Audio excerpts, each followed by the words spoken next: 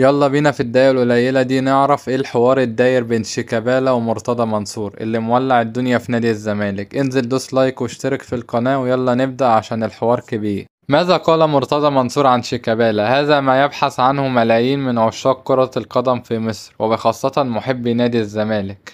الذي يواجه أزمات متتالية بعد الخسائر التي مني بها الفريق مؤخرا. سوف نرصد في عدة نقاط ماذا قال مرتضى منصور عن شيكابالا في تصريحاته الأخيرة ضمن مقطع فيديو نشر عبر القناة الرسمية للنادي.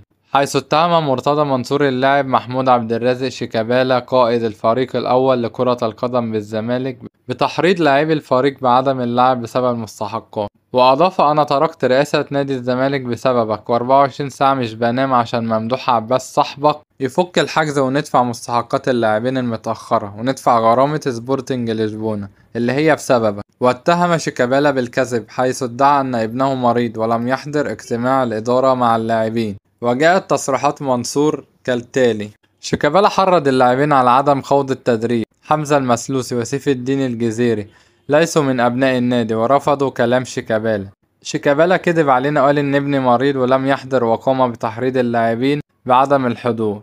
وقال مرتضى بالبنط العريض حضورك زي عدم وعندنا مية كابتن غيرك. روح لممدوح عباس وقول له يرفع الحجز عن أرصدة النادي. إحنا بنجمع فلوس غرامتك كي نسددها لسبورتنج لشبونة. مش هنفرض عليك تعتزل وكفاية لبستنا في غرامتك. اللي بيحب النادي ما يتمرطش ويلم اللعيبة وما ينزلش التمرين وعبد الواحد السيد موجود. اللاعبين لهم مستحقات بالفعل لكن سيف الدين الجزيري وحمزة المسلوسي اللي مش أولاد النادي مستحملين. حتى زيزو وأحمد فتوح لم يتقاضوا مستحقاتهم وجميع اللاعبين يتحملون ظروف الزمالك. وخرج شيكابالا عن صمته ببيان رسمي عبر حسابه على الفيسبوك يقول فيه الآتي جماهير نادي الزمالك العظيم وأتحدث إليكم اليوم ليس فقط بصفتي قائدا لفريق النادي وأكثر من تشرفوا بحمل شارة قيادة القلعة البيضاء عبر التاريخ. ولكن أتحدث باعتباري واحدا ممن تربوا داخل جدران هذا النادي العظيم. ولمدة أكثر من ربع قرن تشرفت بأن أدافع عن راية الزمالك ولذلك كان يجب الرد على بعض النقاط وهذا ليس كل شيء. رئيس النادي السابق يسألني لماذا لم أتدخل معه في رفع الحجز عن الزمالك؟ وأنا هنا لن أذيع سرا فأنا قبل أن أكون قائدا للنادي فأنا زملكاوي قلبا وقالبا. وأتشرف بأنني على علاقة جيدة بكل مسؤولي النادي السابقين والحاليين. وبالفعل تحدثت مع السادة الأطراف أصحاب الحجز على النادي وتواصلت معهم لرفع الحجز وإنهاء الأزمة حفاظا على النادي واستقرار الفريق وباقي الألعاب الأخرى. والمفاجآت أن الرد جاء بأنه لا يوجد حجز على النادي والزمالك غير محجوز عليه لصالح أي جهة. بالنسبة لقضية سبورتنج لشبونة فالنادي اشتراني من صفوف سبورتنج لشبونة عام 2016 مقابل 650 ألف دولار وبالفعل تم سداد مبلغ 140 ألف دولار وتبقى 510 ألف فقط. كان يجب تسديدهم في مواعيدهم.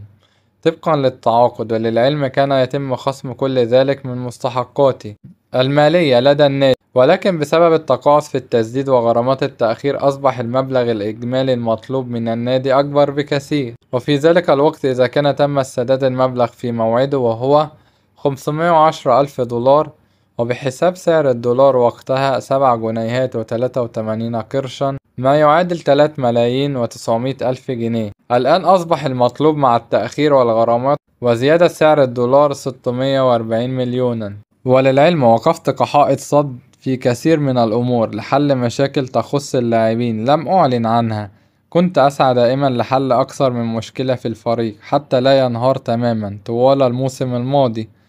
وليس شيكابالا الذي يتهم بالتقصير أو التمرد في حق النادي. في حق نادي الزمالك بدافع المال لأنني اخترت اللعب في الزمالك وبسبب أخطاء إدارية من قبل لعبت بدون أموال. وعلاقتي مع الزمالك وجماهيره أكبر من الأمور المالية والكل يعلم ذلك. ونحن هنا لا نتحدث عن ظروف مادية فقط مر بها اللاعبون طوال الموسم. ولكن هناك ظروف أخرى أصعب لا يمكن الحديث عنها. واللاعبون يطلبون مني الحديث نيابة عنهم ولذلك وبصفة ولذلك كان حديثي لتوضيح تلك الأمور والمشاكل العديدة. والتي كانت سببا مباشرا في نتائج الفريق خلال موسم كامل. هذا ردا على كل ما أثاره رئيس النادي السابق بشأني أما ما يخص كل ما حدث للفريق سيكون هناك ردا بشكل واضح وللحديث بقية.